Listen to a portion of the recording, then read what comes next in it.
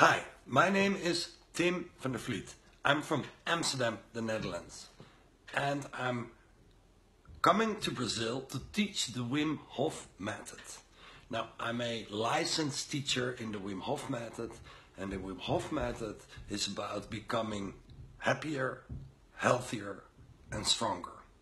And it focuses on three pillars, and the three pillars are one, a breathing technique, absolutely amazing. You get energy and you become quiet at the same time. It's amazing.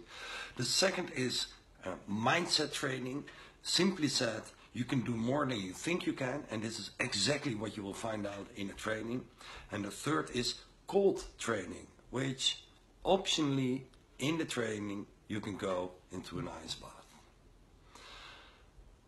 And that's easier than you think.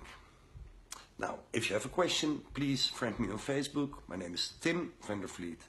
Uh, or ask Thyagi Das, my friend in Brazil.